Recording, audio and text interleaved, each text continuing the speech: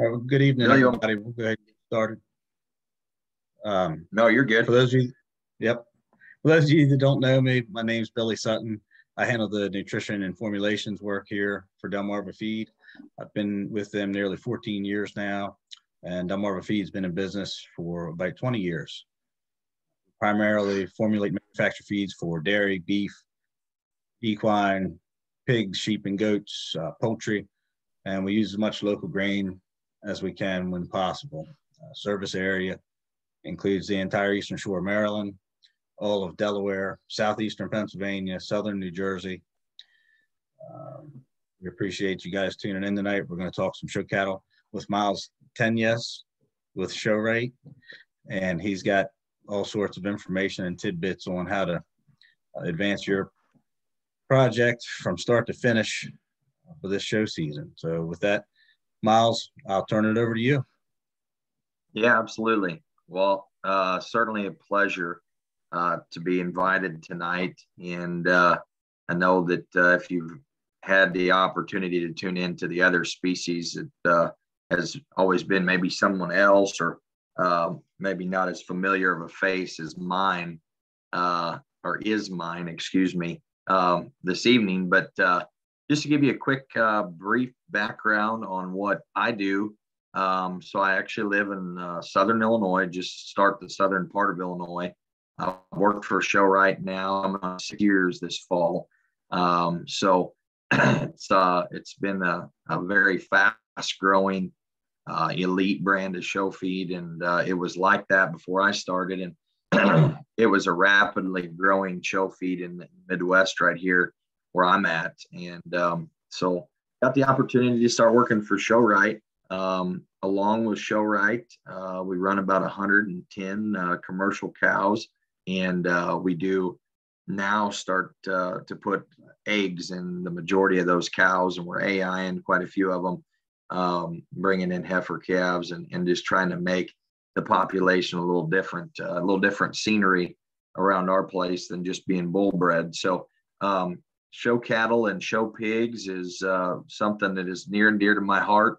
Uh, I sell about 70 show calves in the fall and uh, try to sell 20 or 30 more of them in the spring. And so we're selling about 100 calves a year uh, to 4-Hers across the country and um, do that via online sales or uh, just private treaty, um, things like that. And we feed several of them right here uh, in our barn as well. And so um, tonight I come to you uh, as a Show-Rite specialist, but uh, also as a cattle feeder and breeder. And um, I'm, I'm extremely confident in where we're at with our Show-Rite products and uh, with the feed that is being made right there uh, with Billy and the crew um, and, and what's happening. And so we've also got uh, some new things as well going to happen. Uh, we talked about different, uh, little different kinds of feeds today and uh, being able to make some um, some different kinds of feeds as well. We'll get into why and how that's going to happen here in just a little bit, but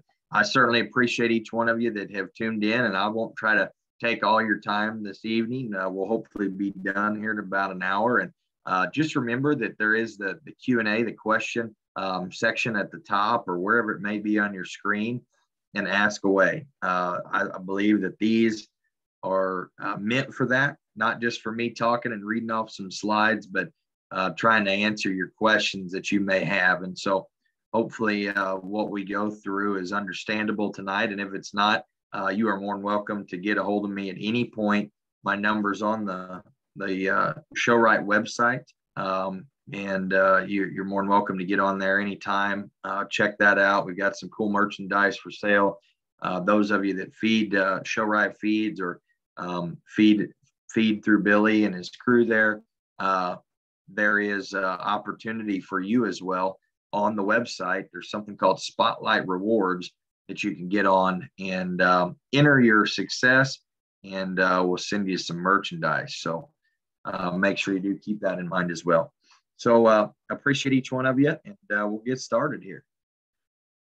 so I do a, a, lot of clinics across the country, and uh, most of them have all been now involving uh, a computer screen which I'm not probably the most fond of, but it does allow me to be uh, wherever in the country at any given time. And so uh, that is part of it. And obviously the silly uh, or or the hard things that are happening now in our country has not probably allowed us to just get out and uh, beat the footpath that we usually do. And so we do a lot of these uh, via this type of format now uh, through Zoom. And so try to be pretty self-explanatory through each one of these, but I know that sometimes it maybe is a challenge. I'm not right there in front of you. And so, like I said, the question and the answers are really big. Uh, so what I always like to talk about in multiple species of livestock, particularly in cattle, uh, you know, so many times I get questions throughout uh, throughout the year of feeding cattle, no matter where you're at in your routine at this particular point or this given time. Um, you know, I know many of you have had your calves here for a while, and and uh, you're getting them ready for different shows, and maybe you're slowing them down and getting ready to uh, maybe get them ready for a July, August, whatever your fair is. And uh, so there's different transition points, but you know, I get a lot of times in in how we're feeding cattle today and how do you become more successful as a family. It's not just about buying a high priced animal and uh, putting that thing in a pen and then thinking you're going to go win. Uh, it's it's not even close to that at this particular point. You have to be a good feeder for sure, and we're going to talk about good feed and, and those skills here in just a minute. But your management uh, has got to be A1, and you have to be on top of it every single day from the time that that calf arrives at your house to the time that you're done showing it if you want to be the most competitive. So I always get the question, how do we become better? And, you know, is it feed? How can we feed better? Is it genetics? And does it matter? Nutrition and genetics are the two most important things to having a good foundation of a starting of, of a good calf. And uh, so most of you have already picked your genetics and your calf for the year. I am going to go through some slides just describing kind of where we're at and where, where we were years before and uh, just some neat things just to look at as we get kind of started here. But both those things are very crucial uh, for success throughout the year. so I uh, got a little funny, but first uh, let's take a selfie. No, uh, let's take a look back in time.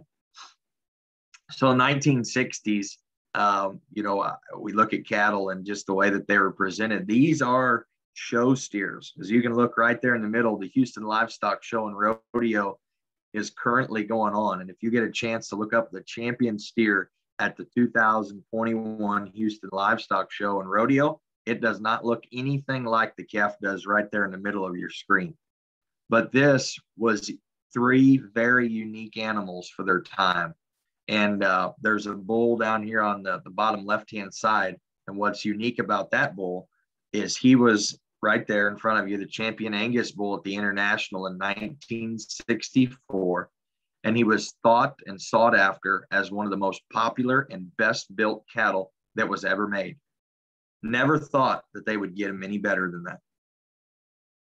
In 1969, the late 60s, you can look at uh, hip height, you know, where these folks are standing back behind them and where they're at now, and just how much taller this particular calf is right here.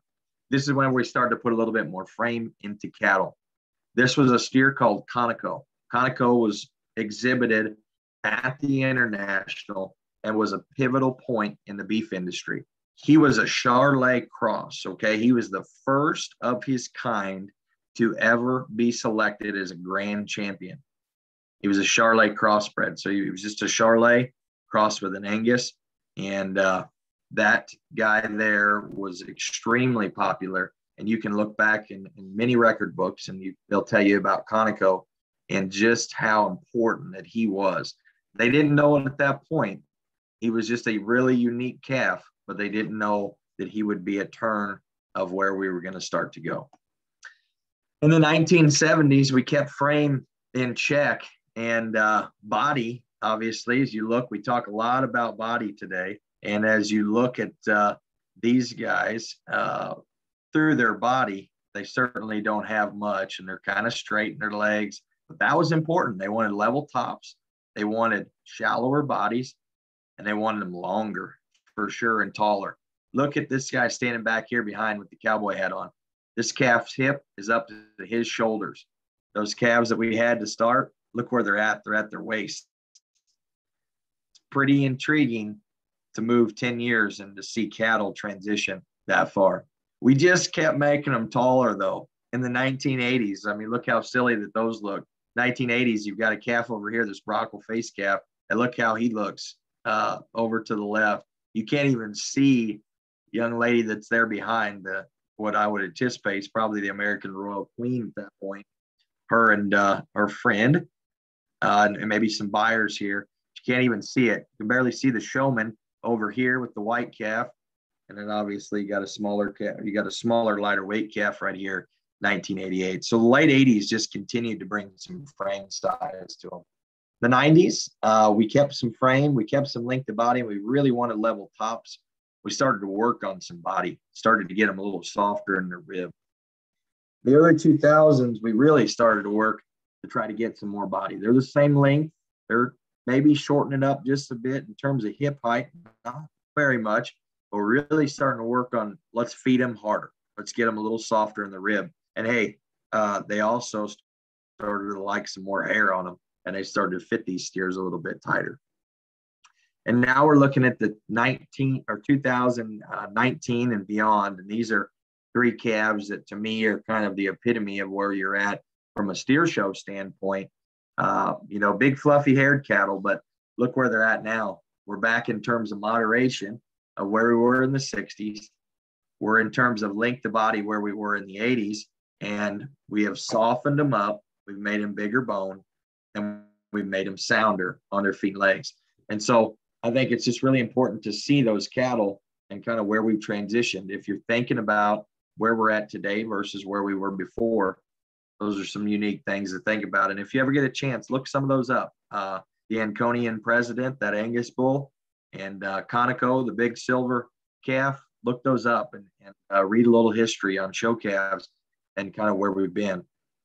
So a lot of things have changed from the 60s until now, except for one very, very important yet extremely simple part of the puzzle corn.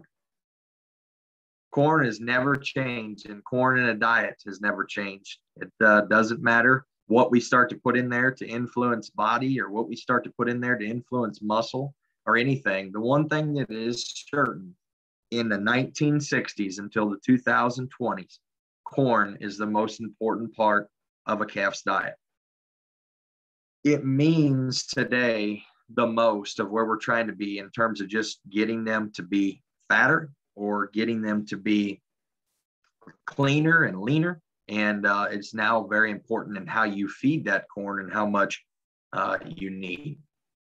So, what else today is in your feed besides corn? You know, it used to be really simple, and now uh, we start to add more stuff in.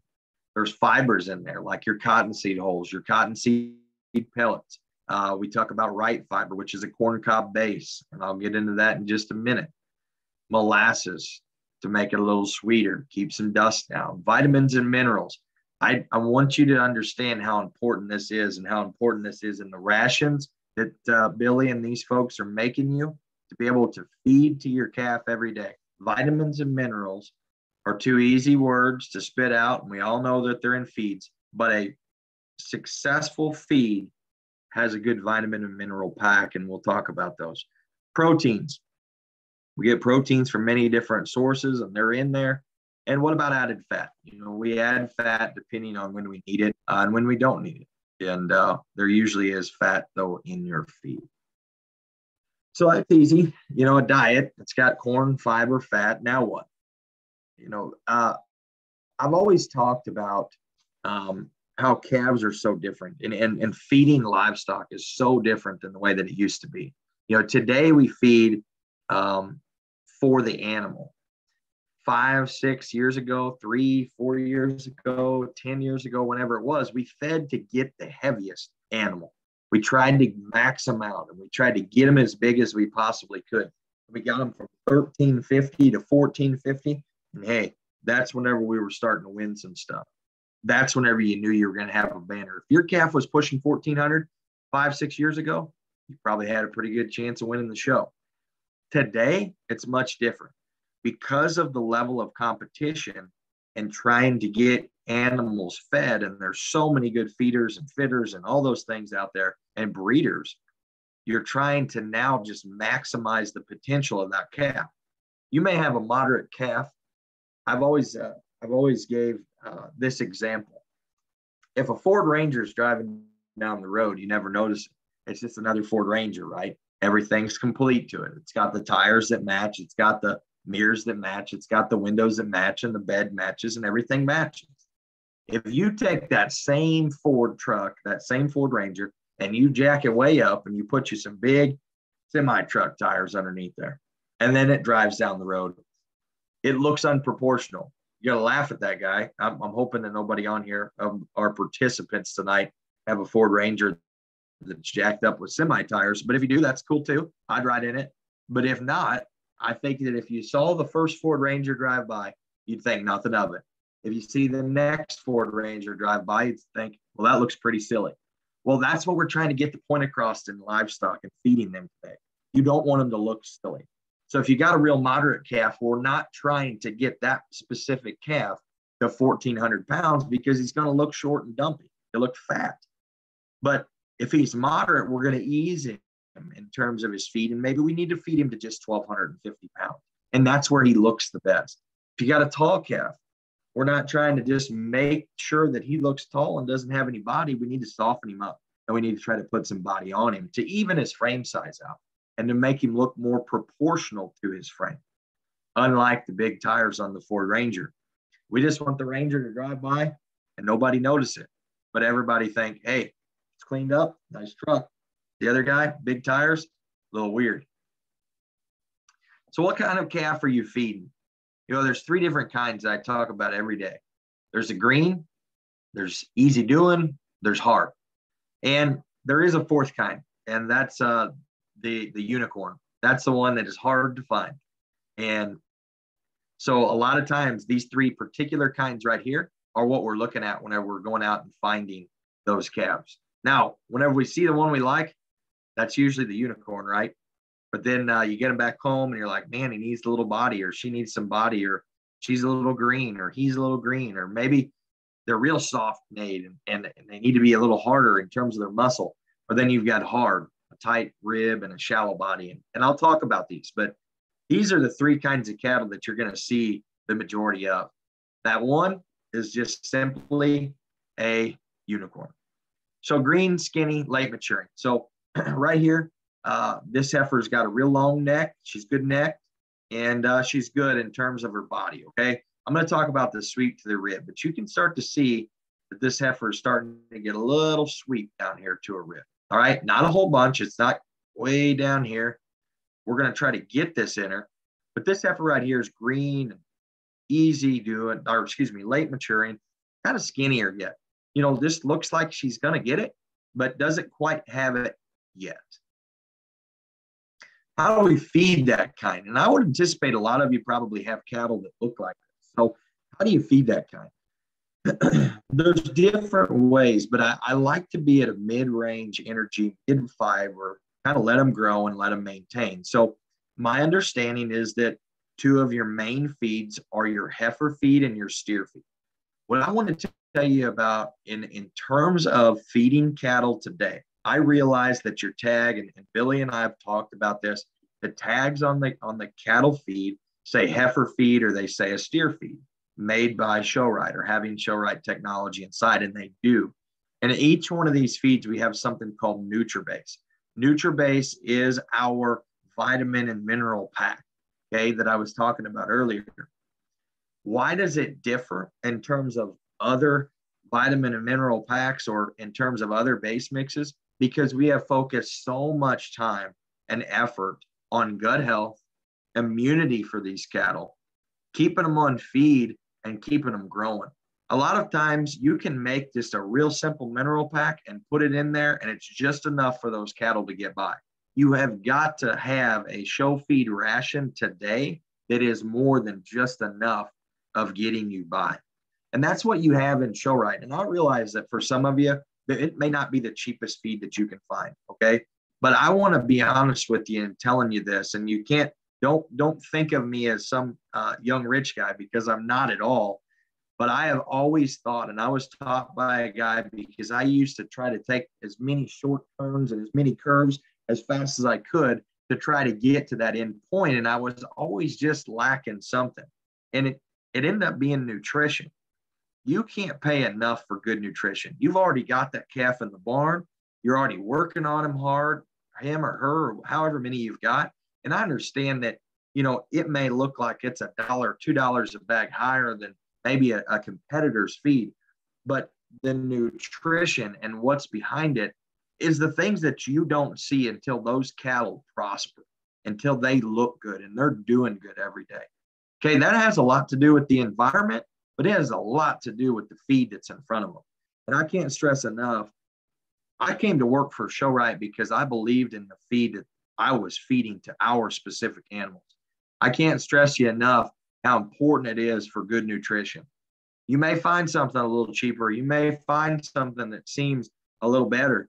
Call me if you have any questions. But as we get into this, and I talk about this green, skinny, late maturing, which I'm sure many of you have yet, and you're just trying to get some body still on your calf and you want to keep them growing, you maybe need to put a little bit more fat on them. There's this heifer feed and there's steer feed. Don't let the tags confuse you, okay? I know that at times Billy may say, hey, you need to put that heifer on our steer feed. We messed up. We're me and Billy, I, I'm I'm gonna say that I did as well. Okay we're gonna we're gonna hopefully be able to change the tag name so that it doesn't alarm anyone that's viewing tonight of the steer feed or the heifer feed because Billy may say, hey, you need to put your heifer on that steer ration to get her a little fatter. Don't just think because it says steer on the ration that it's not something that you can use and it's something that's not for heifers. That's not it at all. Uh, this, you know, was something that was designed to to feed the steers and to feed the heifers, but now the importance of mix matching feeds and, and doing those things and still trying to keep it simple. It's okay to have your heifer on the steer feed sometimes and your steer on the heifer feed. And I'll tell you why. Like this calf right here that I was just talking about, she needs a little bit more body and she needs to continue to grow and, and just get a little bit softer. Okay. I put her on the heifer feed because to me, she's the mid range calf. She's got all the good pieces. We just need to continue to get her fat enough, continue to put some more body in her. So I like the heifer feed that Billy's got you designed to be able to do that. So the next cap, this is the soft, easy doing. And I want you to go back and, and remember this rib cage, okay? I was pointing this out, the softness of their rib. I'll talk about the sweep here in just a minute, but this particular line right here, okay? Look at it here. Okay. Starting to see more body, starting to see more softness, especially in this heifer. You see that big sweepy rib that I'm talking about. Let me get my other little highlighter out here. Okay. Starting to see, oh, I did a good job the first time. Right underneath where I got that yellow, there's some sweep to that calf right there. Okay.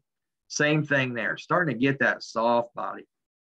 You know how you can tell that they're pretty easy doing too? Right here, their chest form. That's a place that you can study and say, hey, they got a little bit, and, and that's okay. Some of these cattle that are easier doing and easier fleshing, they've got a little bit of chest. And you look up here and maybe they got a little bit of a, a wrinkle there underneath their chin. This isn't all a bad thing. We used to just love them. I mean, love them. Rocket necked, right? Having their neck shoot way up out of the top of their shoulder. And now we're trying to kind of get these cattle where they're a little softer made, but not too soft. How would I feed this kind? I like the heifer feed, okay? The same thing that we were just talking about a little bit ago. This heifer feed, now, now mind you, this right here, old orange and white right here, okay? Your steer at home, and he, maybe he's moderate. He's shorter bodied. He's got that big soft rib cage in him. We don't really want to get him any fatter and we want to keep him growing. Okay. Put him on the heifer feed. We can change the name. If it, if it, if it's something that you just, ah, I just can't feed the heifer feed because it says heifer on it. I promise you, you can do it. I promise you, I do it every day and it works very well. The heifer feed is important to realize that that's going to help you continue to get condition. But look right here. Oh, I need to change my color of my highlight. Let's see. I'm going to go blue. It's still not working. Anyway, I'm going to go right across it. Blue. I'm just coloring in. Helps frame growth. Okay. So those moderate cattle that you just we are just talking about, these cattle are a little, little more moderate, maybe a little more compact in terms of their length of body. Okay. I'm going to put them on the heifer feed so I can continue frame growth and continue to add that body that they have. I have something right here called Show-Rite HF. And this is a particular feed that we can actually make you uh, be able to make with the NutriBase right there, uh, utilizing um, Billy and those guys. They, they can put this together. We have a ration to be able to do this. So if we get too soft, or maybe your steer's getting too big right now, and you're wanting to cut him back just a little bit, but you don't want to add a bunch of additives. I get it. You just want to be on a feed. Show-Rite, the HF, that's a high fiber holding feed. It's low energy, okay? If you ever have, uh, if there's eight kids on here and you ever have a judge ask you, what is the main source of energy in your calf's feed, it goes all the way back to corn. Okay, corn is energy. They gain energy from a lot of different things, but corn is the main source of energy in a calf's diet. And so I'm going to keep the energy pretty low on these because they're already soft enough. Where here, I'm going to have the energy maybe just a little bit higher. So the heifer feed works. And then we could also utilize an HF. Maybe some of your steers right now are getting pretty big. You're a little nervous. Hey, my calf's big. Don't tell me it's big unless you know it's big. You got to have a weight on it for sure. But I do realize that by your eye, you may be looking at a bigger calf than which you started with. But realizing also you may not have seen a lot of cattle. Maybe you only see the one in your barn. And so it just starts looking bigger to you. Make sure that you get a good weight on that calf, and then we know how to more amply uh, or amplify their uh, specific needs in terms of show feed. So we're talking about the soft-bodied ones. We're talking about the steers that maybe, uh, you know, and, and, heifers that are a little more moderate and just a little fatter looking. Uh, keep them on the heifer feed, or we'll we'll make a ration like HF. Write that down. Um, and uh, we talked about this calf earlier. So we're, we're on a, we're on the heifer feed on, on a kind like that. This one right here is the hardest to feed. This is the other one I was talking about. The third kind, hard, okay? Like coloring in the lines right up here in the middle. This is a calf that is very challenging to feed. Why? See its chest floor? And if you oh, the line's not real straight. If you drew this line pretty well straight back, see its rear body right here, its flanks right up in here, its heart. You hear judges talk about heart and fore rib. That's right here. None of that sweeps below this line. Okay. This is going to be a hard calf to feed. Check this out. Look, I'm going to go all the way across, just like I just did there. Check that out. Look at that lower rib cage underneath there. Okay. Going all the way. Somebody's gonna be like, you did that on purpose. Oh. I'm not the best at drawing. I'm trying to use my see that and that rib cage is softer and underneath that line. Put that line in your head. Go to the go to the front of your calf, look at their chest floor, and draw that imaginary line all the way across that calf. If they're a good stander, Get your little piece of chalk. Think about it. Draw from their chest all the way back. See where the ribs at. That's the easiest way that I know how to feed cattle. I look at their chest floor right here, and then I draw that line all the way back, and I try to see where I'm at in terms of body. That's going to tell me a lot how to feed. Check this out. Chest floor, okay, all the way back. That's the same line that I just drew on those other calves. This calf's harder to feed because we're trying to fill in multiple areas. We're trying to fill in there. I'm going to change my thing back to yellow. Look cool. We're, we're trying to figure fill in there. We're trying to fill in here, right in this particular area. We're trying to get this belly to sweep down lower. Okay. That's a challenging animal to feed right there. Now, is it prettier neck? Is it maybe a little longer bodied, absolutely. But this softness of body means a lot. So, how am I going to feed this calf? Remember, these are two heifers. And a lot of times, heifers are going to look like this more than steers. Why? I don't know, but it just seems like heifers are a little harder doing some. How do I feed that kind? I'll put them on the steer feed. Okay. Oh, these are heifers. I'm not putting them on the steer feed. Trust me. I, I promise you. Many times, many experience, and lots and lots of cattle right there is definitely important. So, steer feed for sure. It's going to add that fat cover that you need. Okay. It's going to add that body condition that you need. Can be fed all year long to a calf like that. It's most commonly used, yes, in market cattle and bulls. But what I'm trying to get the point across here is if you have a calf and you draw that line tomorrow or you go back out to feed them tonight or whenever it is, and you draw that line and you say, boy, ah, my calf is skinny and, and needs to have more body and, and needs more flesh, steer feed. Go to that for sure. Is there any questions? I don't know. Let's see. Not yet. remember, if you have any questions, go to the Q&A, ask anything, okay?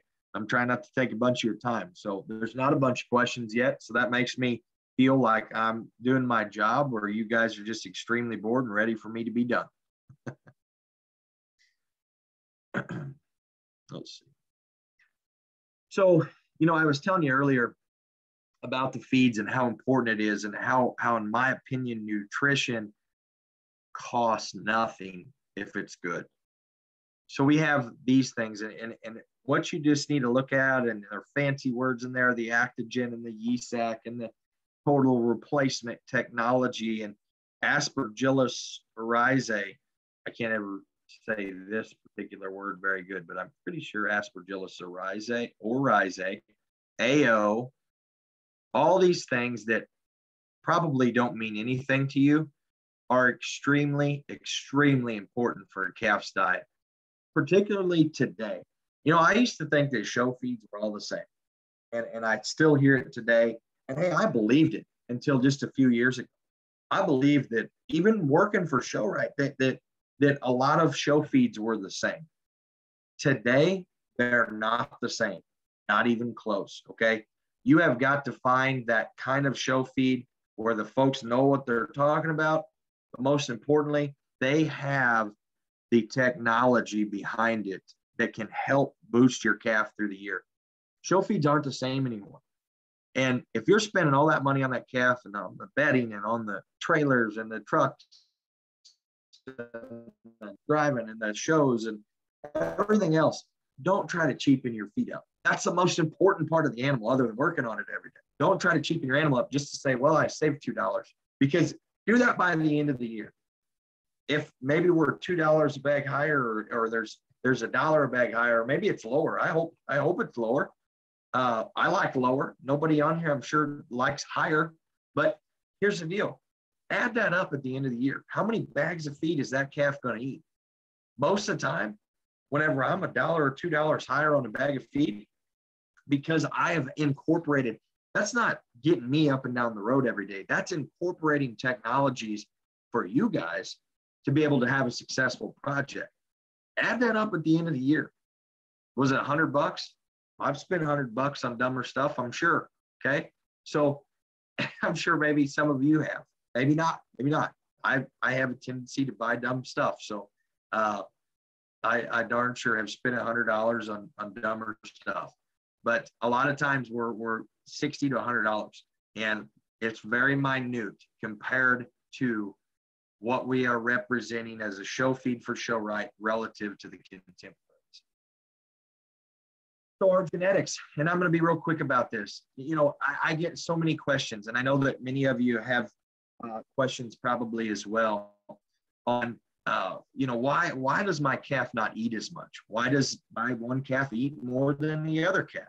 Why is this calf little loose? Why is this calf not getting body? Why is this calf getting too fat too quick?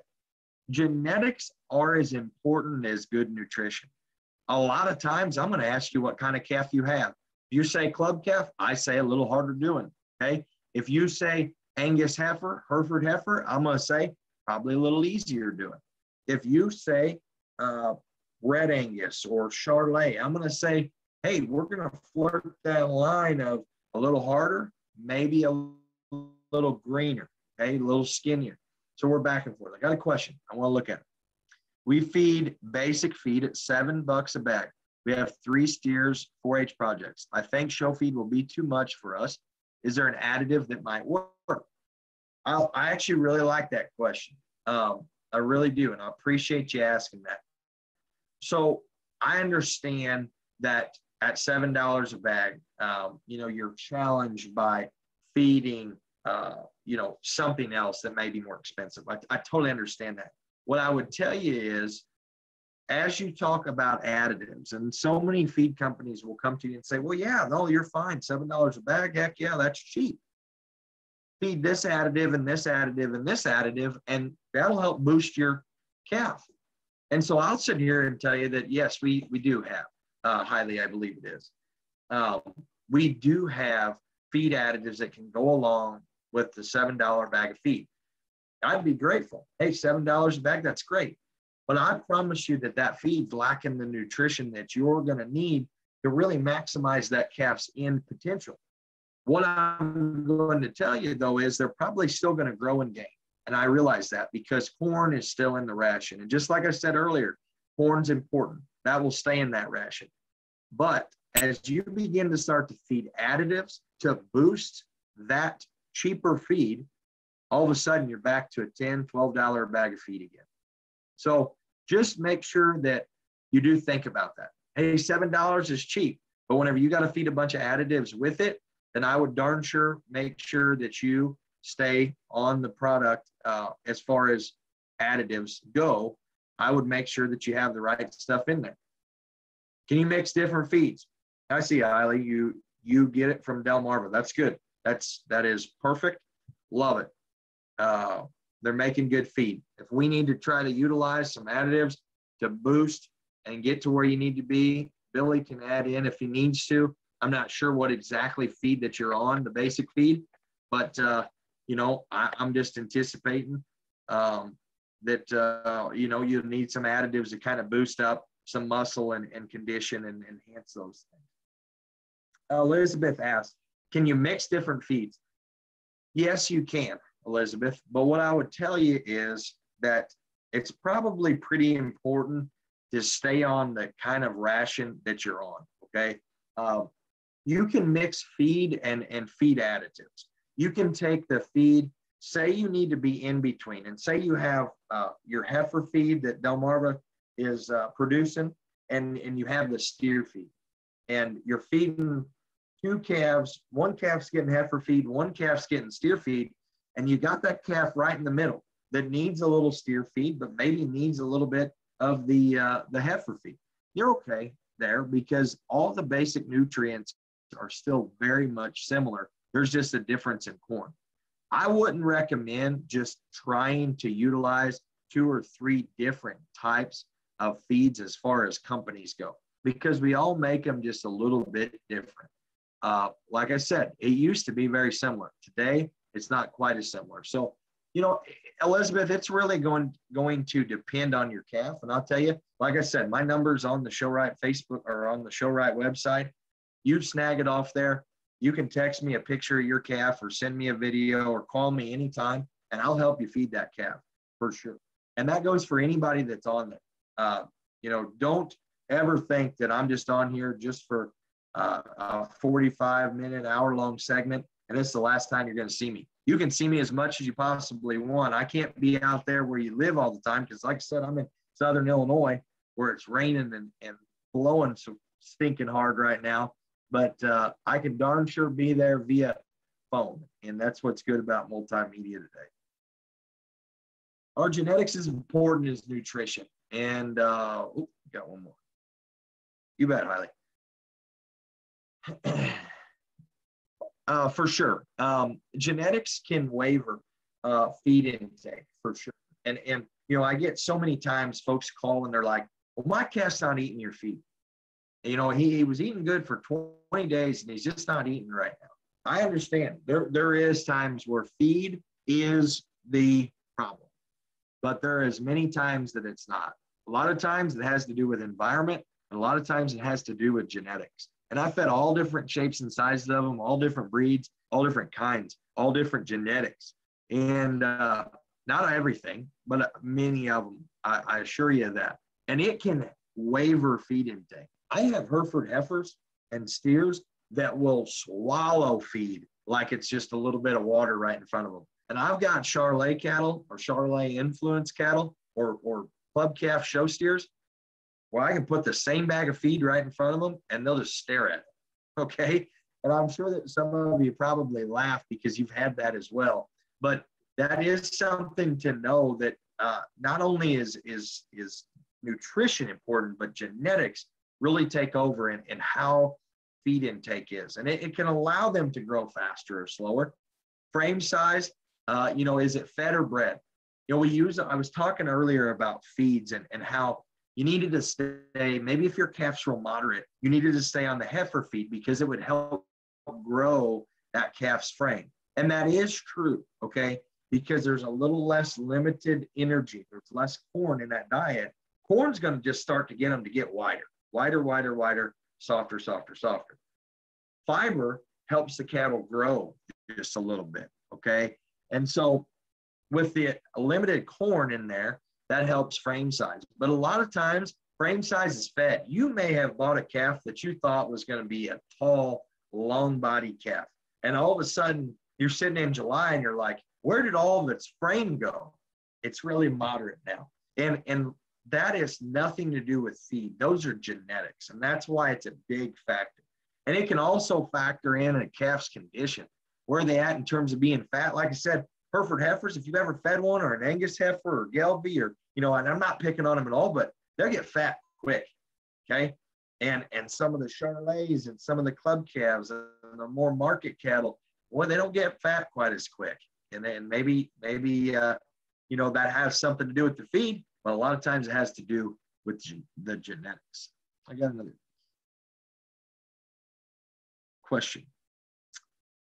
Uh, good. Um, this one's from an anonymous attendee. It says, What is a good hay to feed them? This is a great question. And while you guys are, are uh, still on and participating, hay is so very important for feed intake as well. And I was going to go into it here in just a minute, but while the question's asked and it's out there, I want to make sure that I answer it. So hay is good, and I like stemmy grass hay. A lot like to, you know, use a little alfalfa mix, or they like, you know, they try to put some real green alfalfa.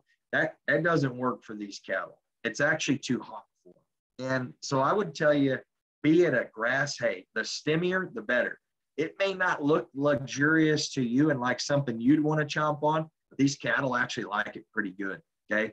And yes, they like some clover in there and stuff. And, and there is times I get it. 25% of your ration may be that in a, in a hay diet, whatever. Maybe you make your own hay and then has some of that in there. But watch how much you do it. Why? Because it's hot on that calf's gut. And then they get the loose poops. Okay. And we don't want that. And whenever they're doing that, it's actually a stressful time and they're not actually converting as good as they need to. Stemmy grass hay is, uh, you know, I, I don't know how to describe it. I guess it would be like whenever your plate is dirty. You know, you get done eating at night and your plate's dirty. Well, you take the water and you spray that plate off, or you put it in the dishwasher and it comes out clean, right? So whenever cattle eat this grass hay, whenever they get, whenever they eat, they eat their Show-Rite feed, they eat their feed that you're getting from Delmarva, and it's in their systems. It's still chunked up through their belly, okay?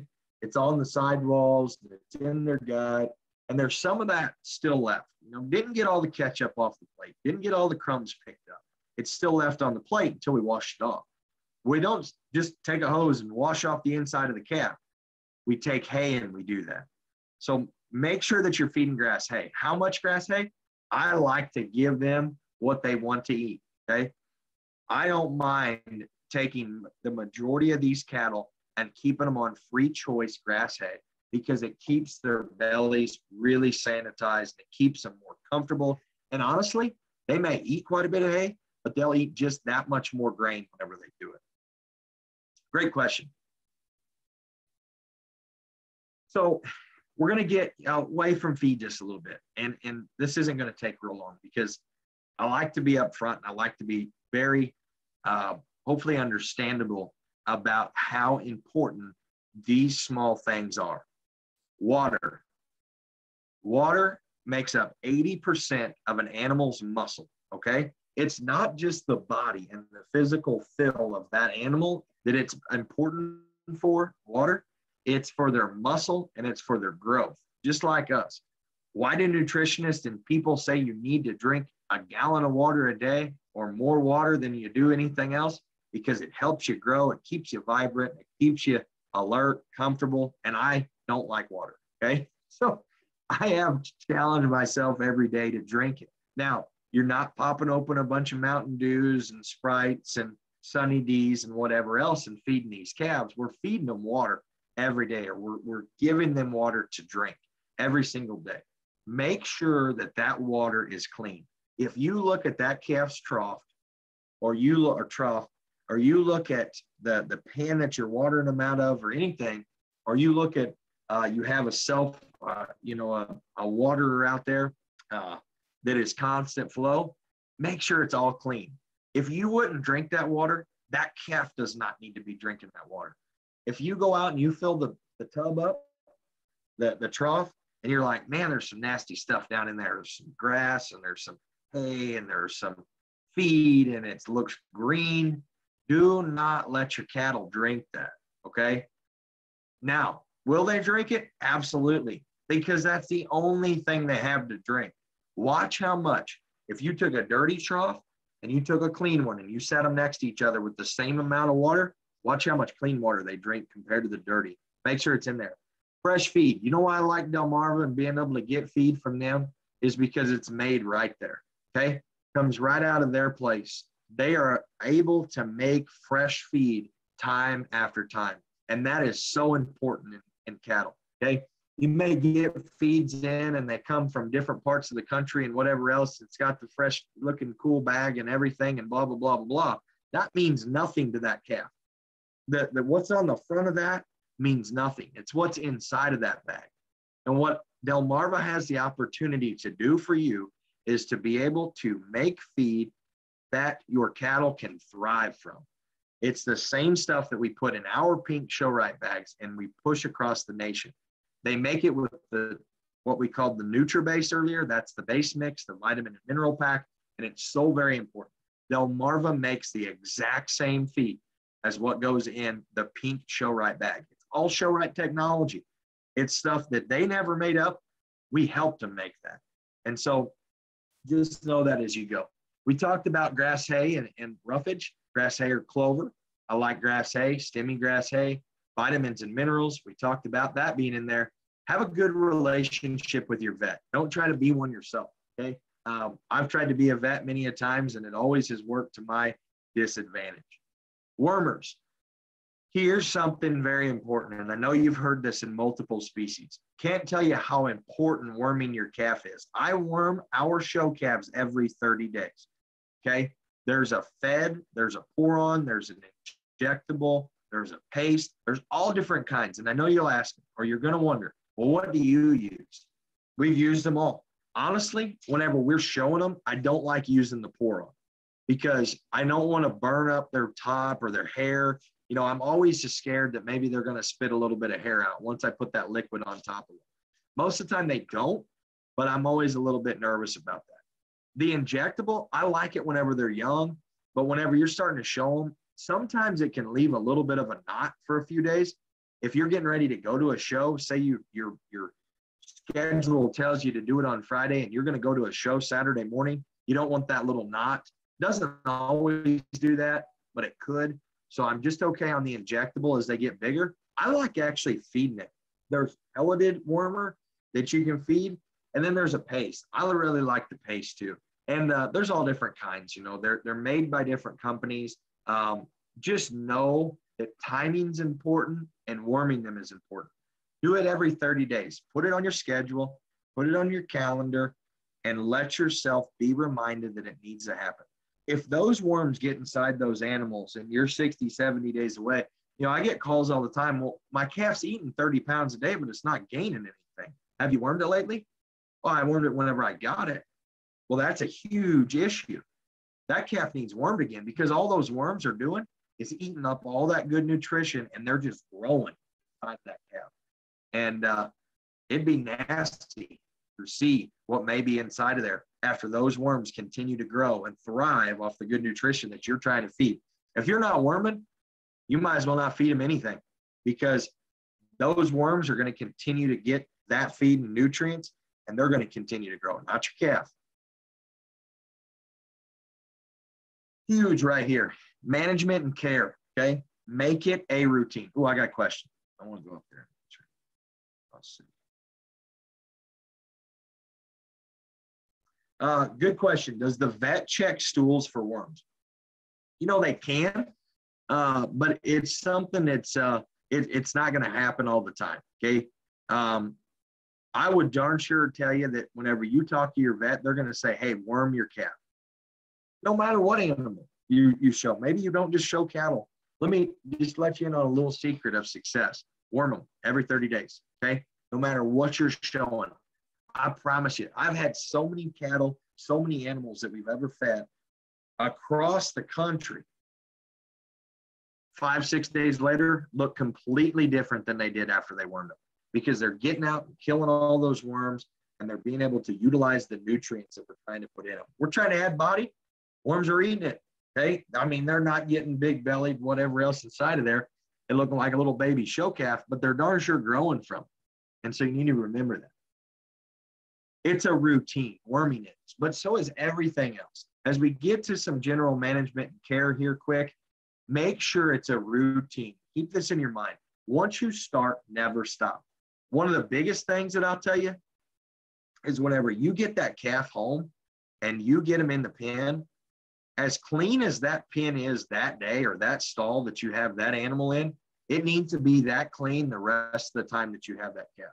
If you wouldn't want to go in and lay down and sleep in that mess, then you don't need to have your calf. And I don't care on here how competitive you're wanting to be. There's nobody on here of participants that's probably saying, well, I'm cool with getting beat. I want to go to the fair and, and lose. Nobody says that. Okay. If you are, you're, you're just an extremely nice person and you're simply just feeding the calf and going to the show. And that's great. But I promise you, or I about guarantee, I about put the money on it. I'm not good at Vegas, but not good at poker anything. But I am probably a betting man on this that none of you want to lose, okay? Or or look dumb out there. So once you start, never stop. Don't let those calves lay in slop. Don't do it because those are stressful times, and that's time that you're losing on gain and feed intake and keeping them comfortable.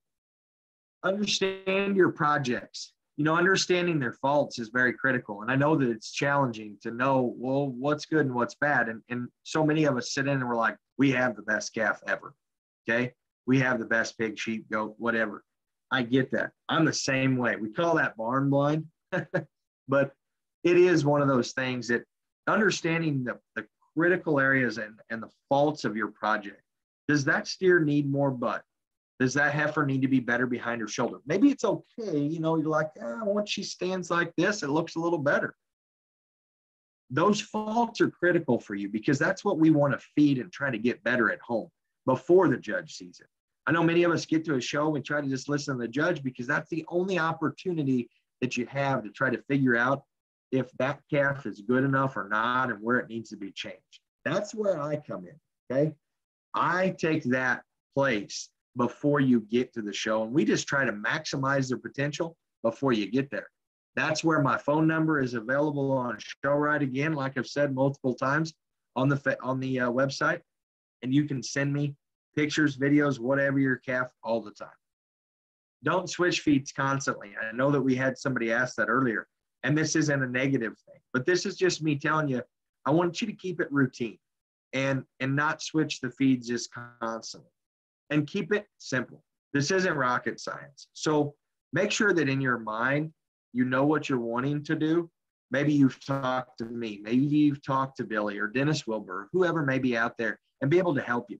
Keep it very simple though. Like I said, it's not rocket science. We're not trying to do anything out of the extreme or the ordinary. We do have a great feed in a bag that allows you to keep things simple. And it's made right there at Delmarva. Got another question? I'll look at it. Elizabeth, what are signs that your cow has worms again? Uh, you know, there's there's different signs, Elizabeth. I mean, a lot of times it's like you're feeding them a bunch and they're not changing. Uh, would be one of them. Um, eyelids are white. Uh, gums are a little white. You know, there's no there's some discoloration there, and uh, you know it's just some minute signs. But just know, you know, you're not going to have a, an issue with worms if you do it every 30 days. You'll you'll have no issue with. Worms. If you're like, like, hey, I haven't worm ridden for a while, I'd recommend trying to figure out tomorrow where you can get some. so extras in my barn. What do I have that's uh, you know from a feeding standpoint that's extra? Uh, muscle in motion. I like that. It's going to add in muscle. It's going to fill in behind their shoulder. Uh, we talked about right fiber, and uh, that's a corn cob base. I do want you to to, to also know that uh, you know I know that corn cob is very important. You know, and and it seems like it is to many different diets today. Uh, I would tell you that corn cob is not as important as what uh, it may be drug on to be. Okay. Um, it is another character of uh, fiber, is what it is, and, and just adding body. And it's great, but it was something that was new and it was being put into show feeds and it was just new. So everybody was using it. But you can use cottonseed hulls, you can use cottonseed pellets, you can use oats, barley. You can use those things to do the exact same stuff. Okay. So not having corn cob in there is not the end of the world. I promise. If you've got cottonseed hulls and cottonseed pellets or uh, soy hulls or anything like that, you're doing the same stuff as you would with cotton with uh, with corn cob. Why do I like right fiber? It's just an added top dress. Uh, I feed three to four pounds of it a feeding. It allows them to get some more milk. Stretch does the same thing. Right fiber is going to drop the body. Stretch is going to shape and expand their bodies. Glucoat, I know some of you have used it. Uh, it's an added fat source as well. Um, it does help them with the intake of, of feed, but uh, it puts a nice layer of fat over the rib. But hey, here's something simple to know as well.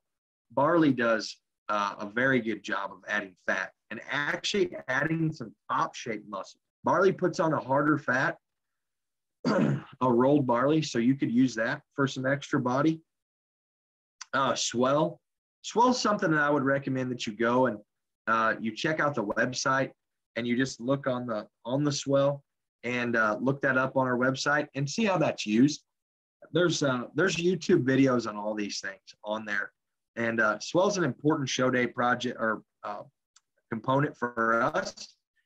But uh, I would check it out on the website. So write down swell and check that out. So uh, frequently asked questions how much should I be feeding my calf daily? You know, right now, it's just totally going to depend on what kind of calf you've got uh, as far as frame size and body.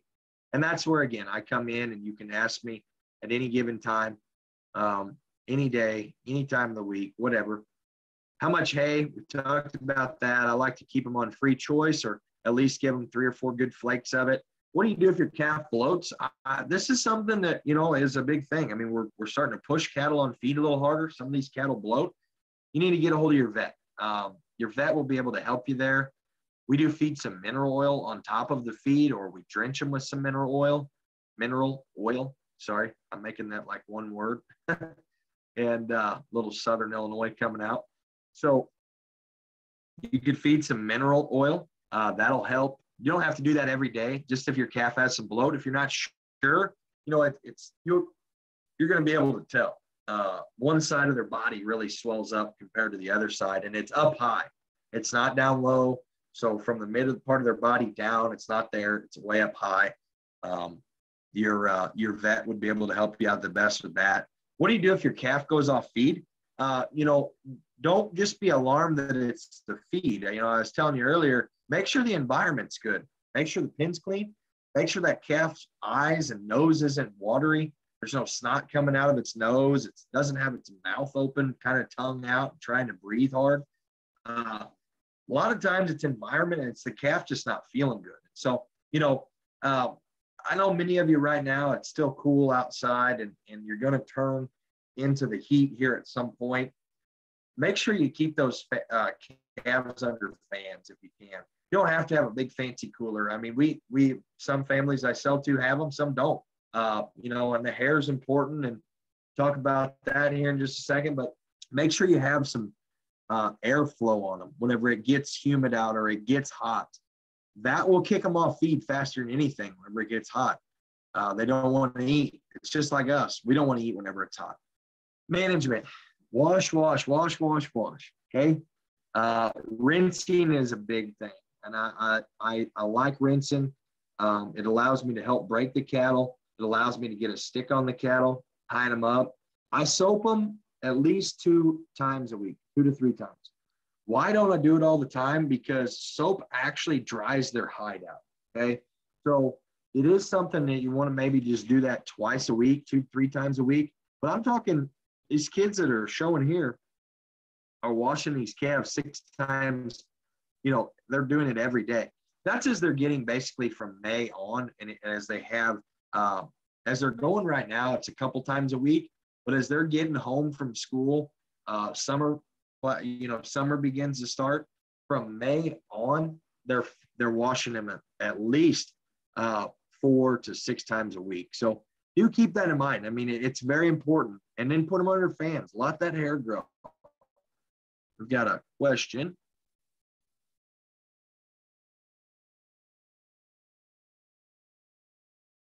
Oh, Elizabeth, I would tell you that um, that'd be a great, that'd be a big question for your vet. Uh, heifers do any day. Uh, is there a way to know that she's close? You know, I would tell you that I would, I would darn sure get a hold of the vet. Um, you know, outside of uh, feed and stuff here, you're just, it's one of those things that you'll be able to watch and see if that heifer's starting to just act a little, little different than she does. Um, she will act different whenever she's ready to start calving. Make sure your calves, your vet's on hand though. Uh, I'll tell you, I've, I've calved out a lot of heifer calves and um, sometimes you need a little helping hand to get that first calf out of your heifer. So uh, breaking them, there's many ways, many different ways of breaking cattle. Some of you have probably had your calf for five or six months now, and you're still trying to get it broke. I get it, man. I'm, I'm, I'm there. I'm the same way. We're taking cattle to shows right now, and I'm like, when is this calf ever just going to act right? Sometimes it never happens, but sometimes it does. It just takes a lot of time and a lot of effort. You know, don't just think that it's going to be perfect every day. If that calf goes out and leads and sets up and does everything right the first time, give it a big old hug and kiss and tell it to tell its friends to do the same thing. That doesn't happen all the time. So, uh, you know, breaking them is a routine. It's an everyday thing. Get them out there, get them on a halter, get them comfortable with you, get them comfortable with a show stick. Get the stick on them. Start to scratch them with the stick. Start to move their feet around. You know, I always tell the kids that show for me here at home, whenever you get those calves out in the yard, it's not time to just let them slouch. This is a time to get them to stick and set their feet the way that they need to.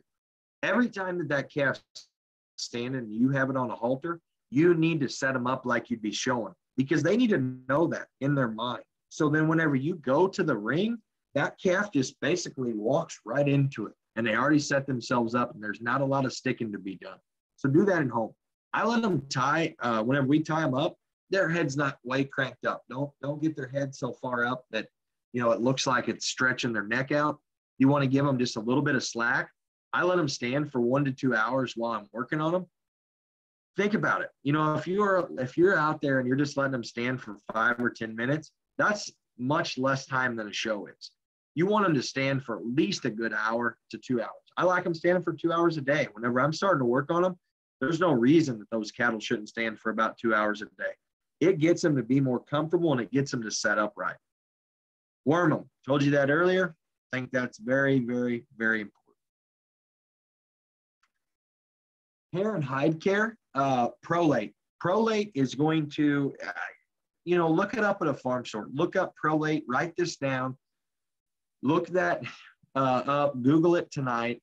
prolate is something that's going to kind of get rid of some lice and, and you know bugs that are crawling on those calves hides and you may not even be able to see it some of your cattle's hair may become patchy right now and you're like i don't understand why it's doing that well sometimes it is because your calf's shucking its hair it's that time of the year because the weather's starting to change so much but a lot of times it's because they have lice and uh, so you want to make sure that you get prolate. And I actually do that every 30 days as well. I, I spray it on them, uh, and then I end up rinsing out there just a little bit after. but prolate will help kill all that. For hair, after I get done blowing them out and getting their hair all blown forward and pretty, I'll take a pump sprayer. I take one third MTG. So write down MTG. Uh, Google that and it'll tell you what that is. That's really good for their hide. I take one third laser sheen or any kind of an oil, uh, like for cattle, uh, not motor oil. any kind of a, any kind of some, you know, some kind of a sheen. I like laser sheen. You can get that in as well. And then I put in the rest of that pump spray, I put water in there. I shake it up real good and I mist it on those cattle. I comb it in there. Okay, comb all that through their hair just to make that hair pop make it look good, make it make it feel good, make it look like it has a little bit of a shine to it. And then blow, blowing the hair, blow all their hair forward. It's easier to clip later. It's easier to look at. Blow all of their hair forward whenever you can, whenever you're washing. Make sure they're dry you know, it should take a solid 30 to 40 minutes to dry a calf. Maybe some of you are sitting here right now and you're like, I can dry my calf in 15 minutes. Your calf's probably not dry. Okay. Blow on it for 30 to 40 minutes. Get it completely dry. There's nothing worse than kicking. It's just like yourself. You're not going to want to get straight out of the shower and run outside whenever it's snowing out or whenever it's extremely hot. You know, you, you don't want that water all over you and, the, and that feel because once that water continues to set on their hide, particularly on a warm day, that's whenever you start losing their hair. That's whenever you start having issues with these cattle eating, gaining, growing. And it can all be from just simply washing them and not getting them blown out good. It sets down in there, and it's just like a. There's any ladies on here and you listen, it's like if your hair was wet and you went out 90 degree weather. Okay. Um, I don't know what the weather's always like where you're from, but it gets hot down here and humid. it can get hot and it gets your head hot. You don't feel good. You don't want to do anything. You just want to get it dry. Cattle are the same way. They want it to be dry. So if you're going to do it to them, you need to help them out and get them dry. So I've tried to keep it, you know, relatively basic, like I said, and and I want you to know how important the things that we've talked about. And I realize you're like, hey, I've blown out my calf. I wash a couple times a week. You know, there's little things like the prolate and there's tips on the breaking, you know, and definitely worming it. Some of these grass hay things that hopefully you can take away and you understand how important it is. You understand how important good nutrition is. I can't stress to you enough just how much it means whenever you feed a good calf good feed and you take good care of. Those three things right there are, to me, the stair steps of success. You know, everybody always asks me, well, what's the secrets? We need to know the secrets because these guys are doing something that we're not doing. Those that are always winning are taking the time to do these things step by step, and it's a routine. Okay. There's more of a routine there, and there's more work ethic put into it than some of you may ever know. And if you want to be successful, if you just take these minute tips that I've given you tonight, I promise you, you're going to get a lot closer. It is tough to win the fair. I don't care where you're at, what county you're in, what state you're in, nothing. It is tough to win a fair. Doesn't matter the species. Used to be pretty easy. If you had a pretty nice calf, you probably win the show. Anymore, there's four, five, six, 10, 20 good calves in the show, and it's tough. A lot of times think it's the judge or you think it's you know this or this guy has this in or this guy spent a whole bunch of money on his calf so he's going to win no matter what. I'm telling you get you a good calf with good genetics feed it good feed and work on it real real hard and you're going to be as close as you have been many many years. It's a challenge uh, but it darn sure is worth the challenge at the end of the year. You may not win. And what I've always taken away from showing over the, the years of my life of being in competition, showing cattle, or selling them to be competitive. A lot of the families that I sell cattle to, uh, some have success and some don't. some seem so lucky that they have success every single weekend we go, and some families don't. And it, sometimes it has nothing to do with their calf or their work ethic. It's just maybe that that's just the luck of the draw that day, and there was better cattle in their class. You know, it's so tough, but if you want to deem your success this year, 2021, on your show calf or any project that you have, you want to deem success, don't just do it by if you won the fair or not. Do it by if you did better every day. You clean that calf stall, you cleaned its pen out, you gave it good grass hay, you gave it good feed, you continue to keep clean water in front of it, and you did what you knew was right to do every day you worked on it whenever you got home in the summer and, and home at night from school and you did all those things. That's success. So I want you to keep that in mind as you move forward through the summer. With that being said, uh, I appreciate each one of you a whole bunch. I appreciate Billy and uh, the Delmarva crew uh, and everything that uh, they're doing to help you be successful. It may not seem like it, but their time and their effort that they're putting into the feeds for you guys is so very, very important. And uh, they're a really good asset to have on your team. You need a team and uh, you need people that can help you, and those guys sure can. And I'm darn sure here. So uh, get my my name uh, number again. It's Miles Toenyes, and uh, you can get my number off the Show-Rite website. Hey, give us a follow on any of these social medias that you have keep us updated on any winners that you have. And if you have any questions at all and you're just trying to get through the year, call me, text me, whatever it takes. Let's try to get you a good calf this year. Let's try to get you a more successful year. I appreciate each one of you a bunch. You're more than welcome at any point to ask any more questions for the next minute here. I'll buzz off and then you can text me or call me anytime that you want. But uh, again, I appreciate you. Uh, Billy, appreciate you. And, and Zach's on here as well, our marketing guy. And uh, appreciate each one of you. And uh, can't thank you enough for sitting through this. I know it was a little bit more time than some of you anticipated, uh, but hopefully it was worth your time. And I wish you good luck as you continue your path here through the year with the calf. Hey, Miles, thank you very much. Thank, thank you to the entire Show-Rite team. We, we appreciate all the support and uh, knowledge that you guys share with us, uh, not just tonight, but throughout the entire year and show season. Uh, for all you guys that are still out there, uh, this uh, webinar was recorded. We'll have a replay available for you. So if you would like to watch it again or listen, we'll have that available. Just let us know and we'll be sure to get it over to you. And like Miles said, we're here to help. Use this as a resource the team at Delmarva and myself will help you out any way that we can. And we also have the entire Show-Rite team at our disposal for um, any unique situations or challenges. So with that, I guess if there's any questions, we'll, we'll gladly take them. If not, um, hope everybody has a good evening. You thank you very much, Miles. And thank you, Zach, there behind the scenes. Yeah, absolutely. Thank you. I would say questions look good for now. And uh, again, look up my phone number and shoot me a text or call anytime. More than welcome to. So, Zach, I think we're good.